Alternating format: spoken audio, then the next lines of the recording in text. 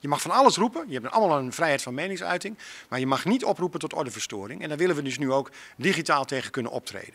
Zo kreeg Almelo, net als andere gemeenten, hiermee te maken tijdens de boerenprotesten en de avondklokrellen tijdens corona.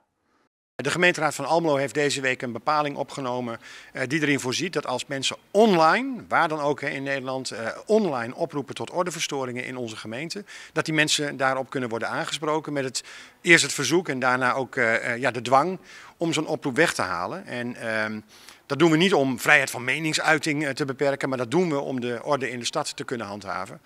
En dan is het vervolgens de vraag: is het dan aan de burgemeester om te oordelen of mensen iets wel of niet op uh, social media mogen zetten?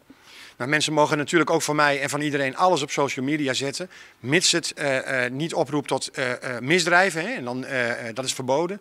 als overheid, en dat is een democratisch gekozen overheid in dit land, daar moet je tegen kunnen optreden. Niet... Maar moet daar niet eerst de rechter tussen zitten dan? Dat kan altijd later. Hè. De, de gemeente, de burgemeesters in Nederland zijn verantwoordelijk om een ordelijke en veilige samenleving mogelijk te blijven maken. Daar hebben ze instrumenten voor. dit is er één van. En als mensen vinden dat ze daarmee onterecht behandeld worden, dan kunnen ze uiteraard altijd naar de rechter in Nederland. Dat is ook een heel groot goed. Maar we moeten met elkaar ook onder ogen zien dat een digitaliserende samenleving ook een digitale overheid vraagt die als het ware daarop meebeweegt.